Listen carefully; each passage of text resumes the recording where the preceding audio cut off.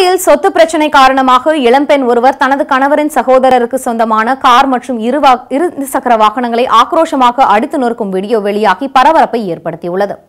கோவை கவுண்டம்பாளையம் சரவணா நகர் பகுதியைச் சேர்ந்த Thomas Crazy Mary தம்பதியரின் மகள்களான சார்லி மற்றும் சார்ல்சன் ஆகியோர் அதே பகுதியில் தனித்தனியே குடும்பத்துடன் வசித்து வந்துள்ளனர். பின்னர் தாமஸ் உயிரிழக்கவே மூத்த மகனான சார்லியுடன் தாய் கிரேசி மேரியும் வேறு பகுதியில் சார்ல்சன் என்னும் குடும்பத்துடன் தற்பொழுது வசித்து வருகின்றனர். இந்நிலையில் தாமஸ் பெயரில் உள்ள வீட்டை தனது பெயருக்கு மாற்றி தருமாறு சார்லியின் மனைவி சூர்யா தனது மாமியார் கிரேசி மேரியுடன் அவ்வப்போது வாக்குவாதத்தில் ஈடுபட்டு வந்ததாக கூறப்படுகிறது. இதனிடையே தனது தாயை காண்பதற்காக சார்ல்சன் சென்றபோது ஆத்திரமடைந்த சூர்யா அங்கு நிறுத்தப்பட்டிருந்த காரை கற்களை கொண்டு கடுமையாக தாக்கி சேதப்படுத்தியுள்ளார். மேலும் அங்கிருந்த இரண்டு சக்கர வாகனத்தையும் ஆக்ரோஷமாக கீழே தள்ளி கற்களை போட்டு தாக்கியுள்ளார். இதனால் அதிர்ச்சி அடைந்த சார்ல்சன் மற்றும் அவரது தாயான கிரேசி மேரி ஆகியோர் காவல் நிலையத்தில் புகார் அளித்தும் எந்த நடவடிக்கையும் எடுக்கப்படவில்லை என்று தெரிவித்துள்ளனர்.